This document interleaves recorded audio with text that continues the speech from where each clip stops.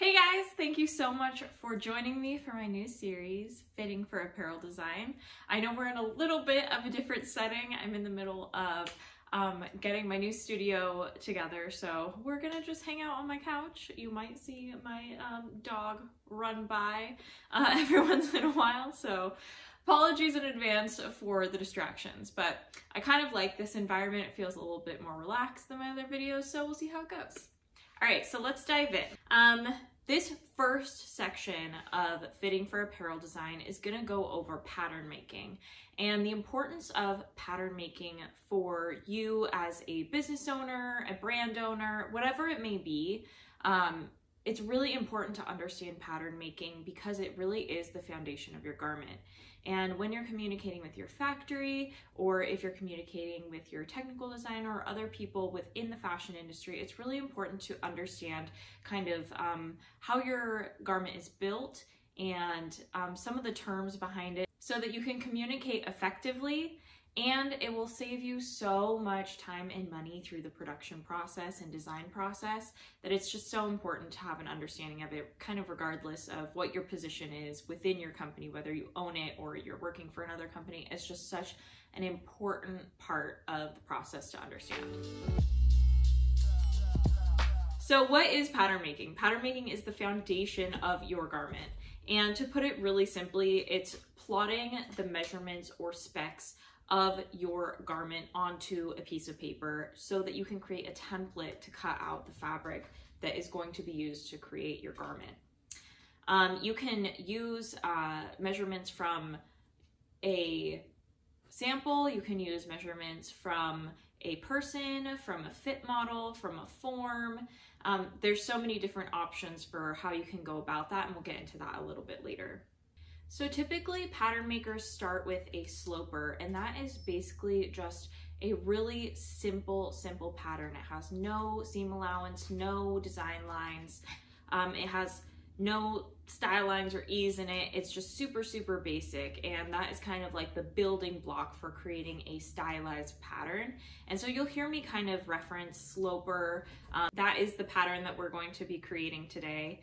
Um, and you'll hear me kind of um, referencing some different things. And so I've included a terms and tools description in the blog post. I'm not going to walk through every single term on here because that is boring and you guys don't need to watch all of that. So if you are curious about the terms that I'm using, please go ahead and check out the blog post. It's linked down below um, and you can get a better idea of what those terms mean. And to make sure that we are channeling this back to fitting, because that's really what this whole series is about, um, you're going to be taking that stylized pattern that your garment is created from and you're going to be fitting that garment that's been created by your factory um, or your pattern maker, whoever it may be. So you're going to be fitting that prototype and those fitting adjustments, which we'll talk about that in um, a later section of this series, those fitting adjustments are what is going to happen to your pattern. So that's why it's so important to understand pattern making and to understand those adjustments you're making, what that means for the pattern. So to help you understand how pattern making is going to affect the fit of your garment, I think the best way is to walk through um, creating a pattern piece together. So we aren't going to create a whole pattern for a garment because that will take forever. If you're interested in that kind of stuff, please She's moving my camera all around. okay. If you're interested in creating your own patterns and you want to learn more about that, I'm hopefully going to do a more in-depth series on pattern making. So if that's something you're interested in, please comment below, let me know um, so I can fit that into the schedule going forward. If you are interested in creating your own patterns, I highly, highly recommend getting this book. I may have talked about this book in um, one of my other series, I'm not quite sure. But this is literally, you can see how many notes and stuff I have in it. I use this book all the time. This is the book that I use for university. This is the book that I always reference when I'm creating new patterns. It's, it's amazing. Um, it's called Pattern Making for Fashion Design and it's by um, Helen Joseph Armstrong. This is the fifth edition. They may have a newer one, um, but I definitely highly recommend this. Um, so if you are looking to um, learn more about creating patterns and some more in-depth stuff, there's so many tutorials online. Um, so we're not gonna go into that. I'm really just trying to give you the basic foundation so that you can understand how your factory or your pattern maker is creating your patterns so that you can communicate with them and let them know about the changes that you're looking to make. All right, so first thing that we need to do is we need to determine who this pattern is for. Is it for a fit model? Is it for ourselves? Is it based off of a sample that we really love the fit of? Is it um, from our size chart? For me, for this example that we're going to be doing, we're going to be using a size from my size chart. And if you don't know how to create a size chart or um, you want to use a garment sample and you're wondering how to measure that, I have tutorials on those things and I'll be sure to link those down below as well. And I also have pre-made size chart templates that you can use as well. Um, so, but for this, we're just gonna use a size eight from the size chart I already have made. So next thing that we need to do is we need to determine what the design intent of our garment is. What type of garment is it and what is the fit intent of that garment? So to use the example that I referenced in my blog post, imagine a woman who owns a pair of jeans and a pair of leggings.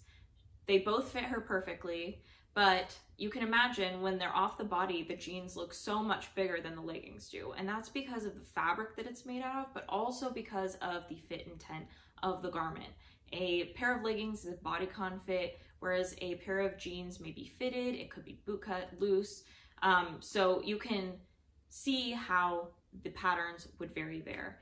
And um, the fabric is also going to be a huge part of this. Does the fabric have stretch or does it not have stretch? So for this example, we'll be creating a fitted bodice sloper and we'll be using muslin fabric. And that means that the fabric will not have any stretch to it. So now that we have an understanding of who we're designing for, what the garment is, the fabric, and the fit intent of that garment and fabric, we can go into creating our own pattern. Okay, so I'm just going to be walking you guys through the basics of drafting a um, sloper, just the front part of the sloper, and I'm not going to get into all the details because that's a whole post in and of itself, but I'm just going to kind of walk you through um, how to plot those points. I'm doing it at half scale so that it's easier for you guys to see everything, but normally you would be doing this on like a large piece of pattern paper. All right, so let's get started. So the first thing we're going to do is we are going to create a vertical line and it's going to be for me, um, we're going to be marking from an A to B, and I need it to be, I'm going to do it, try to do it about in the middle of this piece of paper.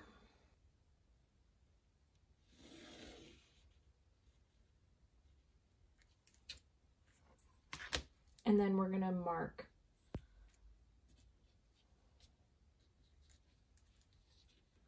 our um, are letters that signify those things. If you're interested in kind of knowing how I'm doing this and you want to learn more about that, definitely check out the book that I recommend um, in the other part of the video.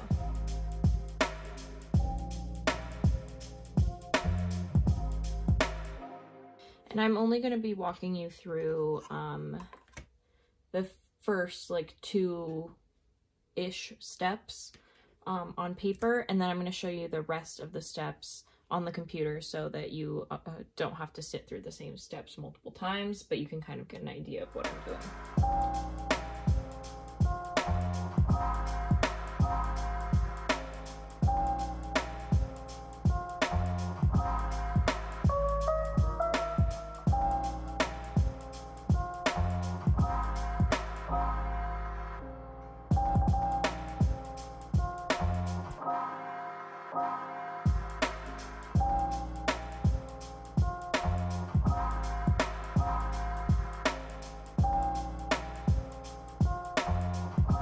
Okay, so as um, we finish up this pattern, you'll be able to see this will be the neckline, this will be the armhole, and then the side seam and dart will come up like this. and we'll continue the rest of this on the computer so that you can see it a little bit better and I can show you how I create my patterns in Illustrator. Now that you see how a pattern is created, you can see how changes to the fit of a garment in a fit session is going to affect the pattern. And we'll be talking more about this later on in the series. So I want to touch on a few principles or details about pattern making that you want to keep in mind. Um, as you saw in the pattern that we just made, it has a dart on the pattern. And in any pattern that you're creating, you're going to be taking away full, fullness using darts or other um, design lines. And that fullness that you're taking away, the way that you're contouring the pattern, will always have to transfer in some way to a new stylized pattern. So if you're using a sloper like the one that we just created to create a stylized pattern, that dart needs to change and be manipulated to fit into the new pattern because you need to contour the garment to the body. So it's really important when you're communicating with your technical designer or even with your factory that you understand some basic pattern shapes so that you can um, speak and communicate in a way that makes sense to both of you. And so I have listed out in my blog post just some simple outlines of different pattern shapes so that you can start to understand what those shapes look like and you can identify them really quickly and really easily.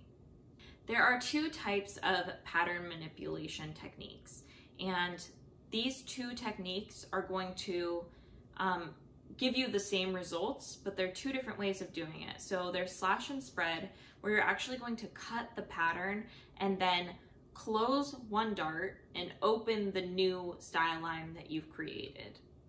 And then that is actually manipulating the pattern that you've already created. So that is altering the paper pattern that you have.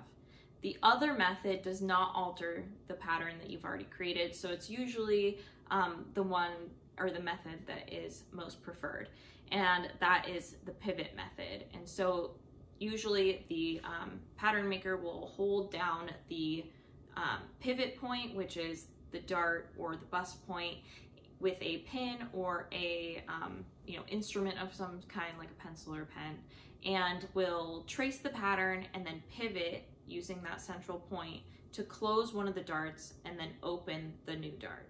In my blog post, I've also included a diagram for um, pattern labels and markings. And this is just sort of an overview. So again, you can read patterns a little bit better when you're trying to communicate with your pattern maker or your factory. Um, and so I've pointed out some of the most common markings and you may see some um, more specific markings depending on what type of pattern it is, but this is a really good foundation for what you might see.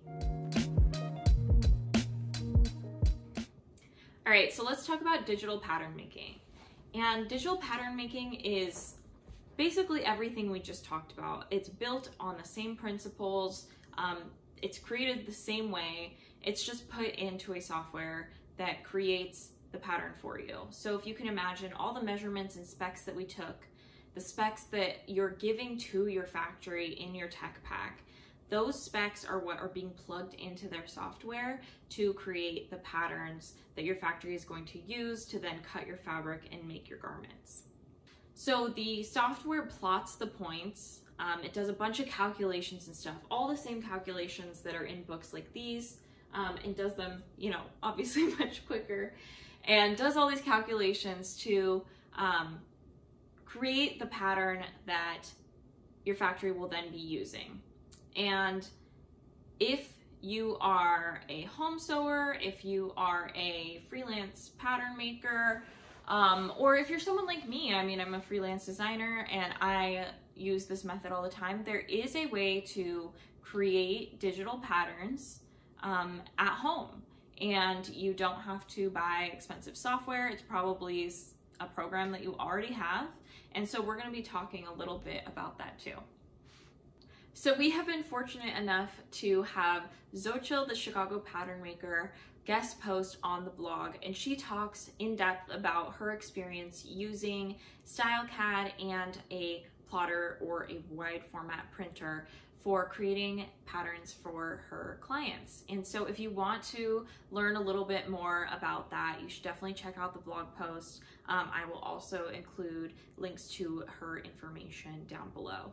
She has a really unique perspective and a really unique experience with these things, so I definitely recommend going and checking out the blog to see kind of her experience and what that was like. All right, so let's get into um, kind of my secret way of getting around having CAD software. CAD software is super expensive and um, a plotter is super expensive or a wide format printer um, is very expensive and even going and getting your patterns printed are, um, that's really expensive. So um, you probably have seen print out PDF patterns and that's kind of what I'm going to be talking about today. So you can print these at home, same way you would print out a PDF pattern that you download online. And um, we're going to be using Adobe Illustrator to create our digital patterns. So you probably already have this program, especially if you're in the fashion industry. Um, so there are two ways to digitize your patterns using Adobe Illustrator. Um, the first method is to just create it by hand like we did before, just like we did on paper, and then scan it into your computer using your scanner. Um, I don't prefer this method, but I have used it in the past, especially for um, patterns that I've already created or patterns that I have um, draped and then want to digitize. Um, so the only thing is just to make sure that your computer is not scaling anything and you can double check that when you put it into Illustrator. And then essentially you're just gonna you're just gonna trace over it. So the other method, method number two, and which is my favorite, is just to create your pattern just like we did before on paper, but create it inside of Adobe Illustrator. And Illustrator is great for this because it already has guides and grids and rulers. You can even set up your document to be in centimeters, inches, other um, formats as well, like pixels and stuff, but I prefer inches. And there's a bunch of really great little techniques that you can use to make this super seamless. You can also figure out the length of any line by going to your document info window and you can see what the length of a line is and that's really important in pattern making. They also have plugins that um, I reference in my blog post if you are interested in that. There's a plugin that you can buy where as you draw, it'll tell you the length of a line, which, you know, definitely saves you a lot of time if this is something you're going to be doing, but there is a way around it by using the document info option. You can also create your very own curved rulers in um, Illustrator, and I definitely recommend this. I have created my own curved rulers, and um, we'll be talking about that in just a second. But uh, I definitely recommend this because there isn't really a way to have consistent curves inside of Illustrator, so having these rulers as objects in Illustrator is really, really helpful um, to make sure that you are getting the correct curves for pattern making. And if you're not sure what curves I'm talking about, definitely go check out the blog post where I talk about pattern making tools. You'll also want to be sure that you're using your layers to your advantage, and we'll talk a little bit more about this when we get into the digital grading part of this series. But using your layers is really important. Um, it can be great for comparing uh, patterns to each other. It can be great for nested grades. It has so many advantages. So definitely use your um, layers if you're not used to using them. There are also ways to use Illustrator scale and blend tools to grade your patterns to a certain extent. Again, we'll get more into this in the grading section of this series, but definitely keep in mind that there are those tools available to kind of make um, some quick um, changes to the scale of your patterns. Okay, so now that we have created this on our piece of paper, I'm going to walk you through the rest of the steps on um, the computer on Adobe Illustrator. So first thing I want to do is I want to go in and show my grid so that I can see um, all of these grid lines that are going to help um, me in creating the pattern. And I'm just going to line this up with one of them.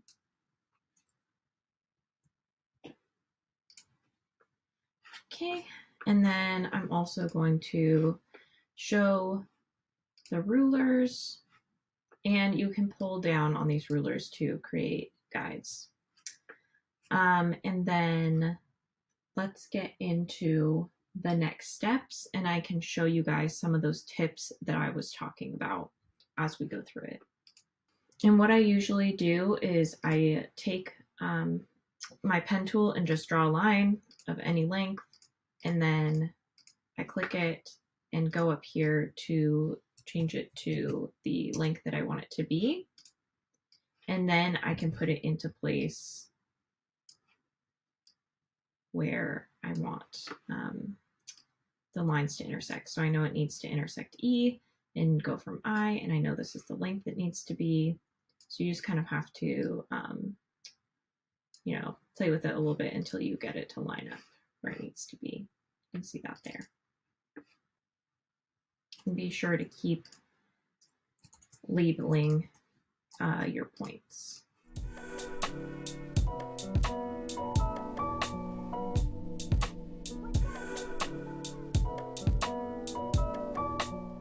So in this case, I have this line drawn just uh, from the E line is drawn as a guide, and I know I need to mark a point here. So I'm going to use one of these guides and just draw a line across to mark it. And then if the guides are bothering you, you can, um, you know, as you create them, you can go to guides, hide guides or clear guides, and then it'll disappear.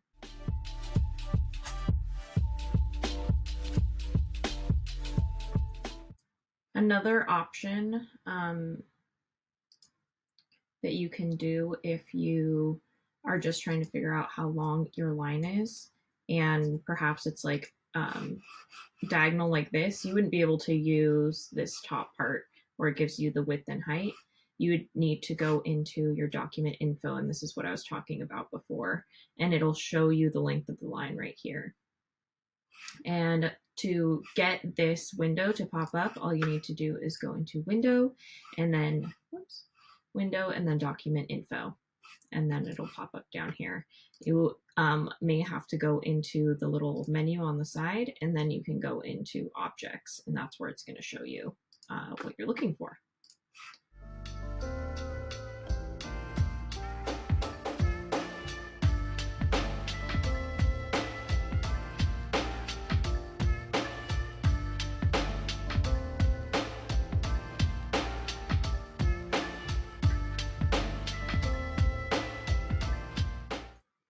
And if your lines start getting connected, um, which can kind of get annoying, you can just use your cut tool to make the lines so that they're not connected.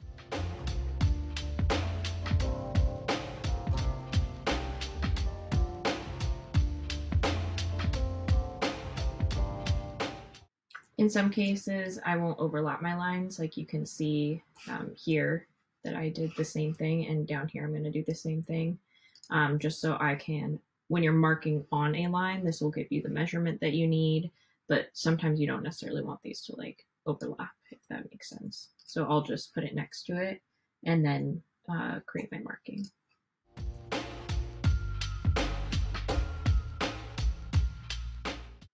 And then we want our dart leg on the other side to be the same length so that we can sew it together. So we're going to cut this and all I have to do is just transform, reflect a copy, and then I can adjust it to um, go through the lines that it needs to go through. So it needs to go through Q. So one of the downfalls of doing this on the computer is that you kind of have to like move your lines uh, and it's less like intuitive than just using a ruler. Um, that's why the plugin that I talked about is a really good option because you can just draw your lines and as you draw them, a little box will pop up.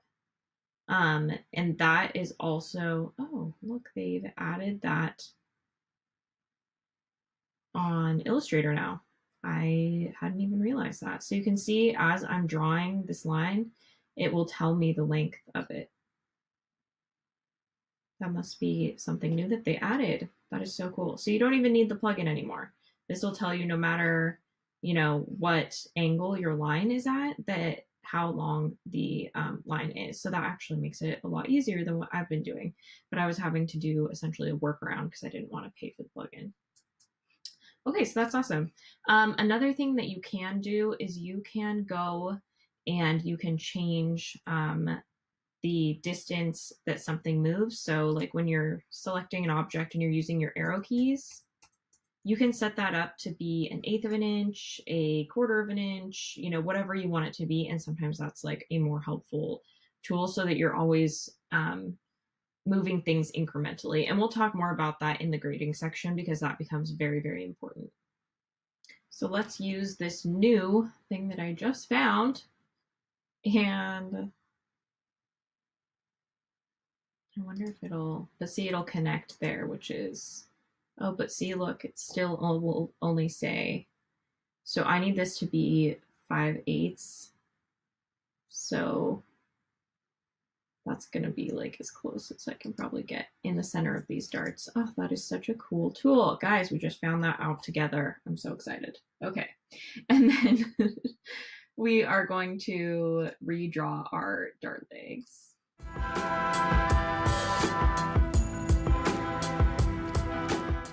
So then here is where our um, curved rulers are going to come in handy.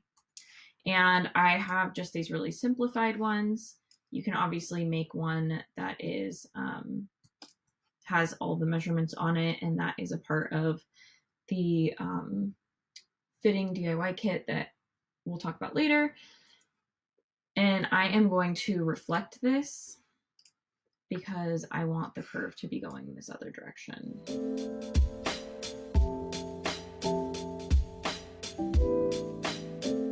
And the cool thing about um, using these is if you copy and paste them, which I'm not sure I did actually, so let me just copy that.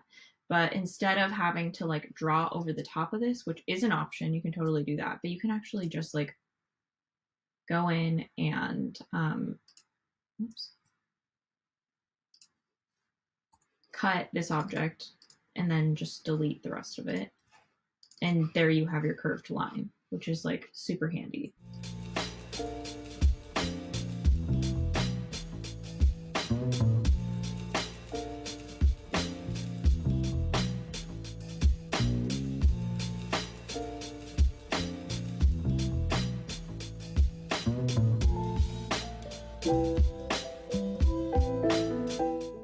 And I can't reiterate enough that you know I'm not doing this perfectly. We're just we're just trying to go over the basics here. So if you are an experienced pattern maker, don't come after me. I am well aware this is not exactly perfect.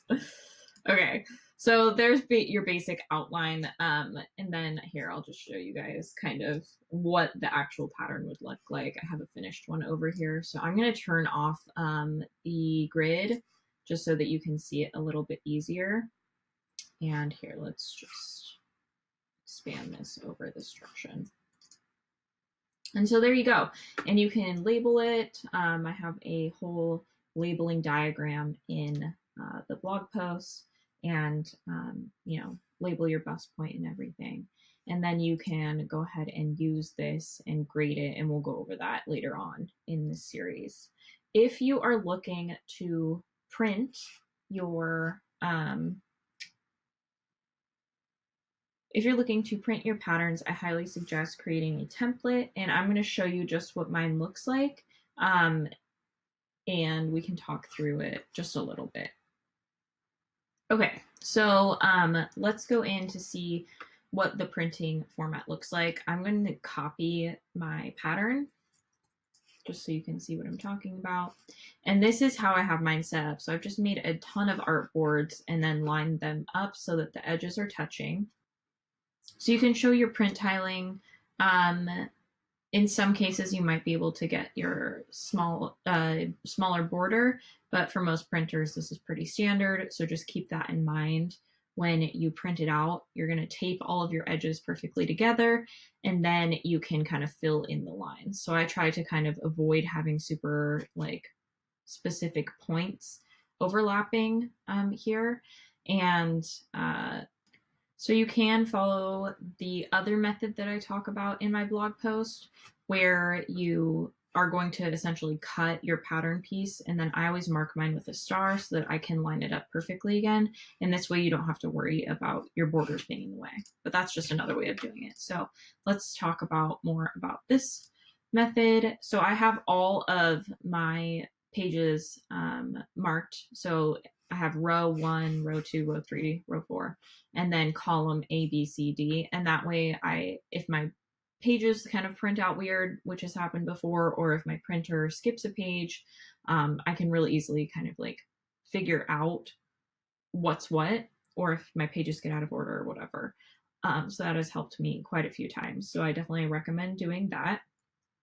And then all you do is you copy and paste your um, pattern on top. So like in this case, I wouldn't want my bust point to be where um, the print tiling is. So I would kind of offset it just so that I'm just kind of filling in this line. So the lines are already there for me. I just kind of need to make sure that I'm taping them correctly. And once you print them out, you can also measure those lines and just make sure that they are the correct length um, just by double checking between Illustrator and um, your pattern. And all you have to do is go into your printer, uh, you know, go to file print, and then you can um, say what pages you want to print from. And I typically will like save this as a PDF. I'll delete the other artboards and save it as a PDF and print it just because Illustrator printing can be somewhat weird, but you can totally print it from Illustrator as well. Just make sure that it's not scaling anything when it's printing. So choose do not scale and you can, um, instead of deleting all your art artboards, you can just pick a range or um, certain pages that you want to print. And that is pretty much it. So if you've been following me on Instagram, you know I've been dropping a few little hints about a surprise uh, in this first section of this fitting series. And the surprise is that I am going to be releasing a new product and that is a fit kit. And what that is, is it's going to have the rulers that I just talked about. So it'll have digital rulers that you can use in Adobe Illustrator. Um, it'll have a fit sheet, so it'll have a comprehensive fit sheet that you can use during fit sessions. And it will have a sort of ebook guide that um, talks about fit issues and how to fix those so that you can kind of have that on hand whenever you need it during fit fitting sessions or even when you're just you know kind of collaborating with your design team. It will include all the slopers that you need in a nested grade. So it'll be from you know extra small to extra large for women's and small to extra extra large for men's. Um, and you'll have all of those graded patterns all nested in a Adobe Illustrator document where you can print them out or you can edit them in the software. Um, so it's really great regardless if you have the program or not because you can just print these things out and use them.